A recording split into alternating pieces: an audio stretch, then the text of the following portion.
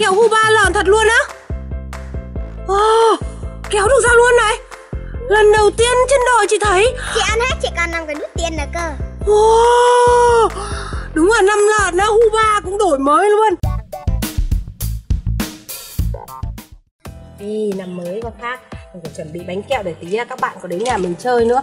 Mà giờ này sao chưa thấy sushi đến nhở? Bảo là sáng sớm sẽ đến sớm mà. Giờ này chưa thấy đến luôn. Mình đã chuẩn bị à Toàn những đồ ấy.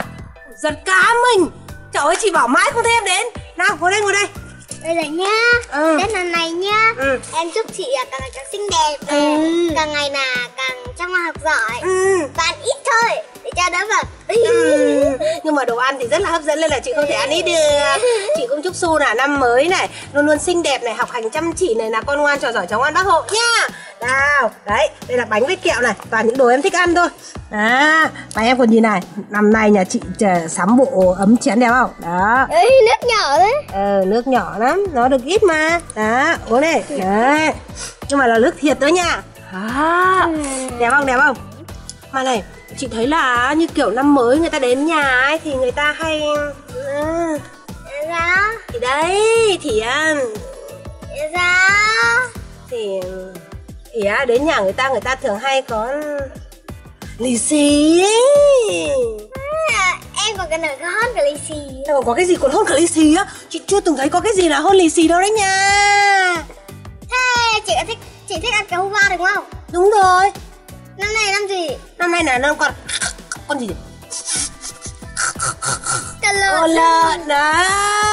Em tặng chị ta là hoa hình con lợn. Wow Kẹo Huba lợn thật luôn á.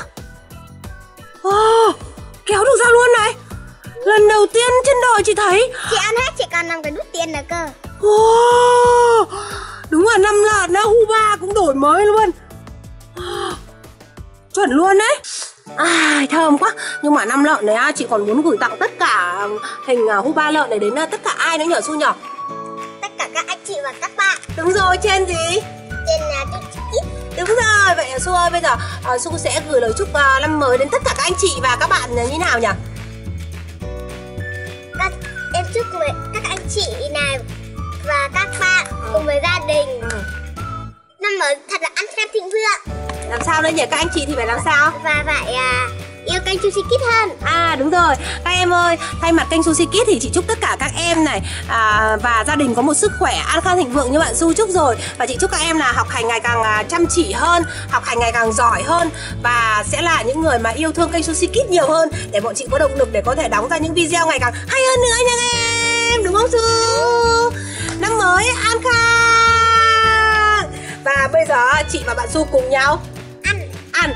Và chị biết là cái món này rất nhiều bạn thích, đúng không? Này bạn su đây chị sẽ cho bạn su ăn các em nhìn này. Đó bạn su ra rất là khéo tay luôn. Đã mua một chút lợn nhỏ và cuộn vào trong đây cho chị, các em nhìn này. Wow. đó, wow. chị sẽ để lại vào đây. Và bây giờ em su đang muốn chúc mừng năm mới. Được rồi. Chị và bạn su cùng nhau chúc mừng năm mới nhé. Bằng một bộ cốc rất là nhỏ xinh nào. Chúc mừng năm mới.